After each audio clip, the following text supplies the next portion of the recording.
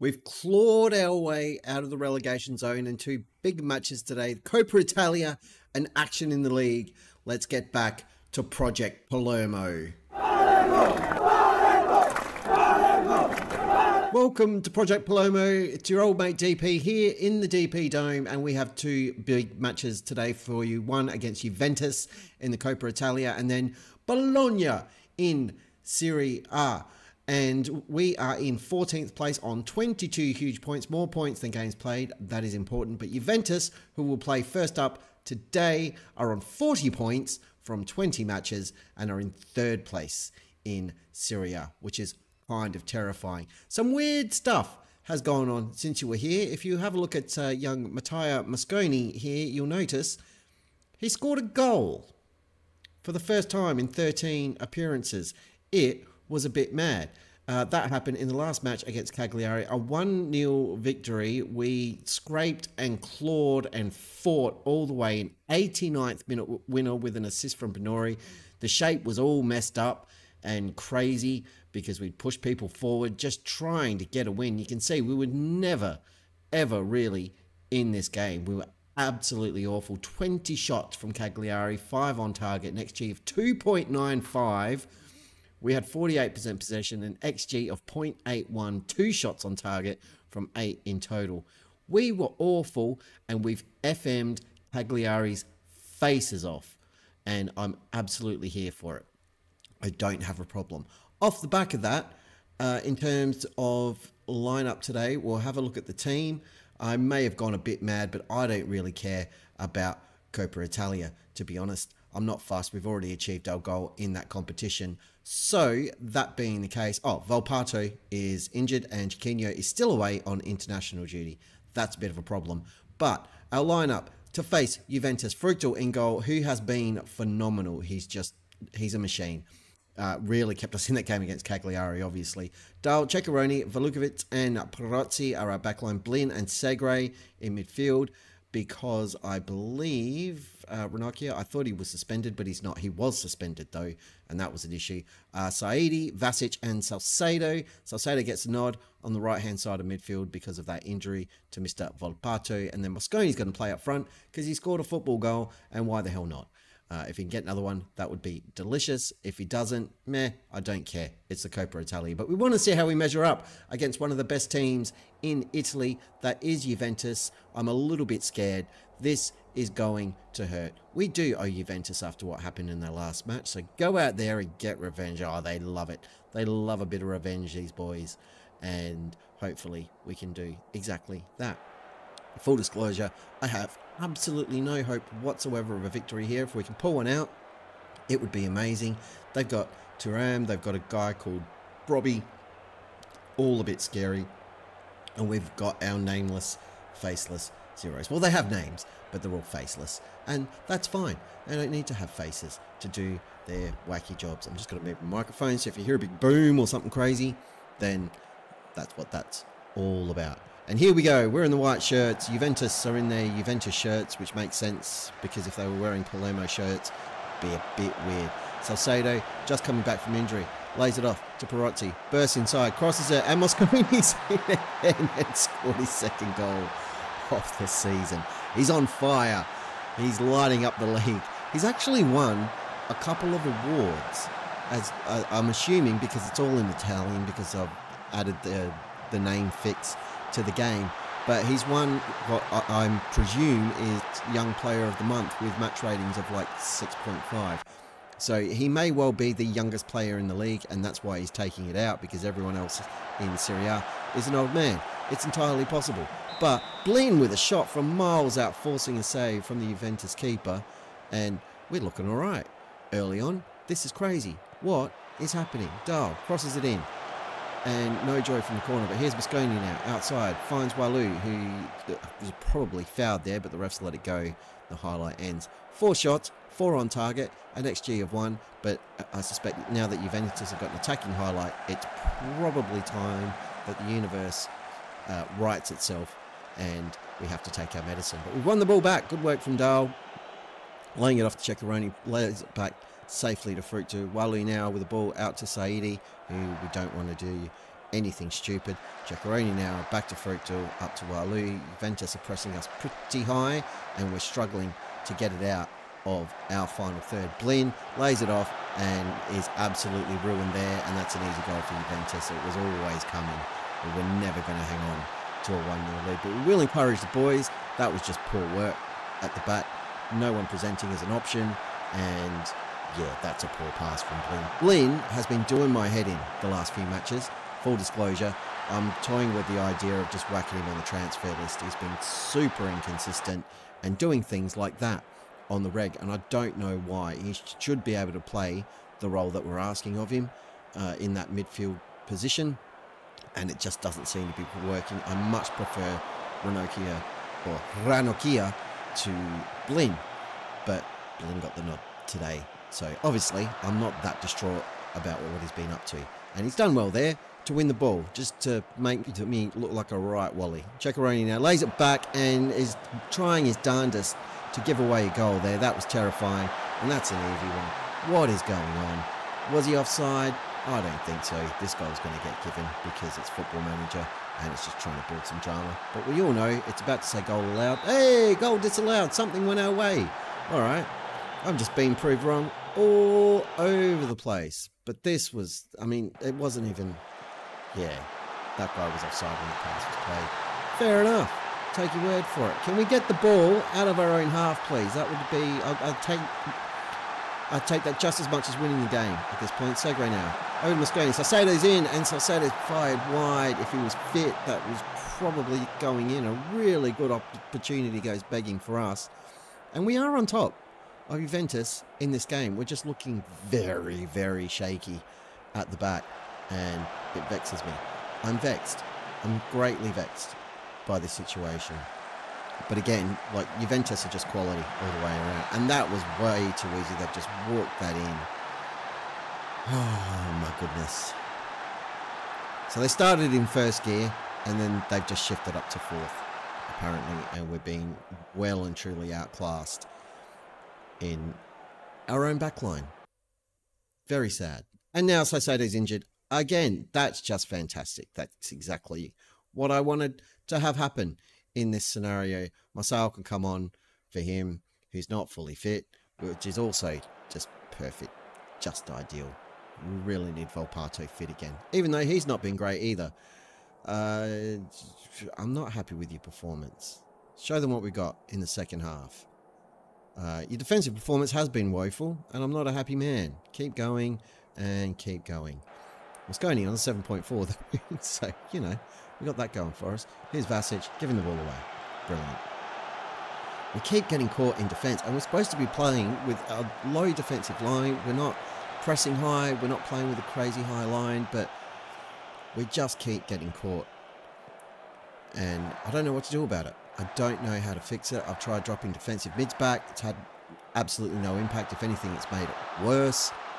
And this just pulled out of shape. Shots coming in from everywhere. I don't know what to do. If you have a look at our out of possession, we're playing with a low block, playing with a standard defensive line. Maybe we push it up a little bit, higher line, and spread this out a little bit more to a mid block. Mm. I don't know. We're dropping off. Maybe we turn that off. We'll give it a try and see if it makes any kind of difference at all. Vasic just has not turned up today. Has been pretty ordinary. Blin, as usual, not lighting my fire, so he can come off, and Ranocchia can come on. And uh, Saidi really hasn't pressed me, so Brunori can come on for him. And I don't know what else to do, really. Why are you playing as an advanced playmaker? I'd like you to be an attacking midfielder, please, and thank you. And is this any better? You swap these guys around? No. Why are you playing as a central mid? It's not what I want you to do. I want you to be a box-to-box -box midfielder. Confirm those changes. Maybe that's part of the problem. Everybody's playing in the wrong role, and I haven't been paying attention. It's entirely possible. Do we just go attacking? Let's just go attacking. Bugger it. Encourage. We need to make a change because Vasic is shattered. We take him off And let me think here. Let's bring on this guy, Matthias Mancuso. He's a high potential youngster. You've not met him before. Brought him up from the youth team. He's a bit rubbish, but he's got decent potential. Wanted another body to throw at midfield. And the January transfers, which we'll talk about after this match, have not been going to plan. Uh, so we drop him in there. We maybe move Brunori up here. Drop Mancuso back into midfield. Push Marcel over there. I mean, that looks all right, doesn't it? There's not, not too much wrong with that. Everybody happy with, with what we've done there with our work? I think it's all right. Probably don't need two box-to-box midfielders, though. That seems extreme. Why don't we make you a little bit of a Mezzala on support? And you can just sit on defend and do defendy things, and we'll see what happens. Just try to clog up that midfield and get some joy while we're on attack. Everyone's been encouraged. We've done nothing in this second half, by the way. We've been completely toothless, and Juventus have just overrun us. Let's go very attacking, see if we can pinch a draw. Why not? But if we get knocked out, we get knocked out. And uh, Mosconi got another goal. So I'll take that as a positive. Could have done without the hit to dynamics, but what are you going to do? Vasic is a problem. I don't think he's good enough for this level, to be honest. He's been developing and he's been doing okay. We get 350 grand for our efforts there. And now Salcedo's out for an extended period, three to five weeks. He's just come back. We're going to send Renzo Malanka out on loan for minus one dollar every month, but that takes some pressure off the the wage budget, which is nice. Now, as promised, before we move on, transfers. Moving out. Uh, Malanka's going out on loan. Uh, Dimitri Nikolaou is possibly going back to Greece on loan because I've not used him all season, and this is one of the youth team who's also uh, in the ver- or on the verge of sodding off. This guy is just a rando that our director of football wants to bring in, but we're doing no other business because we've got a million pounds in the kitty and we're over our wage budget. So I need to move some of that over there to try and resolve this issue. The loans will help bring that down, hopefully, but we're a bit stuffed. And loan wise, there's not a lot out there that is going to help us or improve us, to be honest. So, yeah, looking at the players we've scouted, there's a lot around. There's a whole bunch that potentially could make a difference, but we won't be able to fit them in the squad because they're either too old or they know better than what we've already got. That being said, this guy's a right winger, not really positions we need. It's more midfield and height potentially up front. Although now the strikers are scoring, it's kind of a non issue. Not going to do anything right now between this and the next game, but if we do, I'll let you know. In the meantime, sit tight, and when we come back, we will face Bologna, hopefully pick up another three points in the league. So it's just about game time, but we've got a signing in that I wanted to show you. It's not uh, earth shattering, but uh, from Bayern Munich, Paul Wanner is coming in, a 21 year old attacking midfielder, uh, C plus rating for him, a useful squad option. Apparently, we'll just ask Fructal to to welcome him in, give him a cuddle, potentially Serie A standard. He's not quite there yet, but I just want another option to to Vasic. He can play central midfield as well. He can do that just fine. Uh, can give us some cover out on the right wing, which he might need to, but he looks decent and uh, he's played some games for Bayern. He's played for the second team. He's played for Heidenheim and Paderborn and done pretty well. So he could be useful for us. In other news, bit of an injury crisis. Uh, Segre's out with a cold. He should be right for the match tomorrow, hopefully. If not, probably Mancuso is going to have to start. The young one I was telling you about in the last episode. Eddie Salcedo, as discussed, is injured. Ranocchia, here are the suspensions that I remembered. Ranocchia is out. He's suspended because of too many yellow cards. Volukovic or Walu, he's out, suspended because of too many yellow cards. Mercandali, he's come down ill. He's at home with a cold. He's out for this match, which is the same for Segre. Hopefully, he'll be back in time. We can put Warner into the squad. And yeah, it's a it's all a bit of a mess at the moment. We'll be starting young Marcel Ratnik, a 23 year old Slovenian who has played a little bit off the bench, usually covering right back for us when we're super desperate. But today he's going to be playing as a centre back. He'd like to be a wide centre back. We don't use those, so he's going to have to come in and help us out. But yes, it's all gone a little bit wrong. Didn't take long at all, but another signing I was working on is coming in. But also, the board just asked for a meeting to discuss increasing the available transfer budget. And I've said, yes, please, I'll take more money. So they've done that, and the transfer budget's been increased to 800 grand. So not really, and we've barely got any wage budget there because loans have come in. Hugo Sotelo is a 23 year old midfielder coming in uh, on loan from Inter, yeah, that Inter. We're paying a monthly fee for it, which isn't ideal. 12 grand of his wages. Uh, we'll accept this and get it over the line. Uh, will he be here in time for the match? I'm not sure, but he looks very good. He can help us out at right wing. He can help us out attacking mid. He can help out defensive mid. Help out in the centre of the park, which we desperately need. And he's been playing for Inter. He's played a couple of matches. He's done fine. 14 appearances in total. Lots of yellow. He's got a nice big circle. He's not much of an attacker, but if we can get him in there and help shore things up defensively, that would be delightful. There he is. There's what he's done. Celta Fortuna in Spain. He's had a 7.25 season.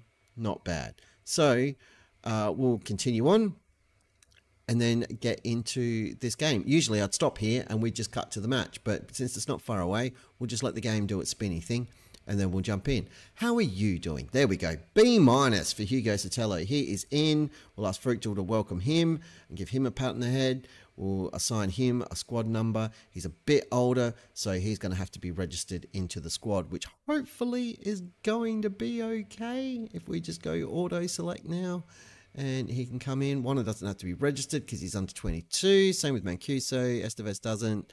And yep, that all looks good. No one important seems to be missing out. Lovely, lovely stuff. So we'll confirm that as it is. Volpato should be dropped by Australia. Yeah, I'm not inclined to argue with that with his 6.75 rating, but what are you going to do? Plus his injuries, it hasn't been good times. And Volpato's still not fully fit, so he's not starting in this game. But let's have a look at the finalised squad, or semi-finalised squad, because Hugo Sotelo is coming straight in. And given that Segre was well, actually, I'm going to drop Blin, and Sotelo is going to come straight into the team because I, I just can't deal. And he can be a deep line playmaker on defend uh, because that's his preferred role. So, squad for this game Fruital in goal, Dahl Ceccaroni, Ratnik at centre back, which again, oh, it, it hurts. It hurts me a lot to have to do that. I guess I could play Ceccaroni, but then I don't. All I've got is Esteves to play out on the right, and that's even worse. I could play Ratnik out there, but it's no better. Anyway, Ratnik and Perozzi at uh, at right back. Sotelo, New Boy, and Segre in the centre of midfield. Saidi, New Boy, Warner, and Marcel make up the midfield three in the attacking sense, and Brunori right up front for us. Let's submit the team and see how we go against Bologna. They are higher than us in the league. I think they're in eighth. If we win, we could go as high as 11th and leapfrog a bunch of teams. But after the drubbing and lesson we were taught by Juventus about our hubris, uh, I don't like our chances. But let's see what happened. On that note, given the ropey form we've been in and some of the results, I've been pondering what do I do with this save if I get sacked? Because at times it's felt like a distinct possibility.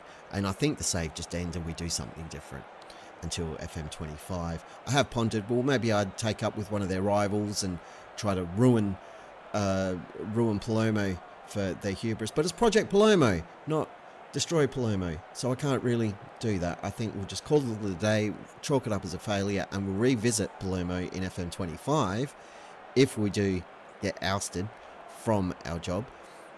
Uh, the other thing on that note that is interesting, despite the ropey results and the horrible run of form we've had uh, earlier in the season, the board gave me a new contract. They extended me out. Uh, I can't remember how long it is, but it was a slight pay increase, and I bit their arm off. I'm like, if you're that happy with me to offer me a, a newer contract, then yeah, by all means, let's go. Uh, so that was surprising given everything else that's been going on. Dahl with a strong challenge there. I thought he'd given away a penalty given it was in the area, but we've got away with it. Segre now with the ball, back to Ratnik. I'm not sure if the highlight's going to end or if we're going to do something really dumb and just give away a goal. The highlight just ends. We're on the back foot. Bologna have got more possession, which is annoying because we're at home and we're yet to have a shot. Uh, I will encourage the team. I'm not going to yell at them just now. Why is Brunori bravely getting in front of a shot? The commentary just said. He's a striker. That's not his job at all. Can we please do something productive in this match? We are getting spanked. They're all over us.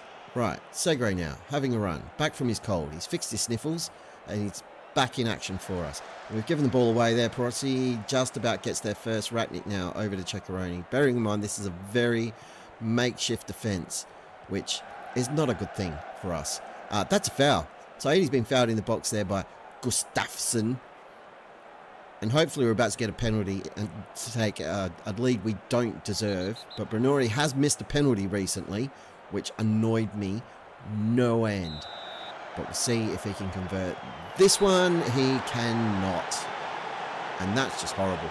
Brunori has not been the man this season at all. Certainly not the player we saw in the back end down in Serie B last season.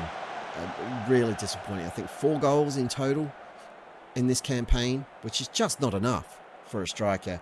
And now his match rating has absolutely tanked because uh, he's missed a penalty, and you can't do that as a striker in Football Manager.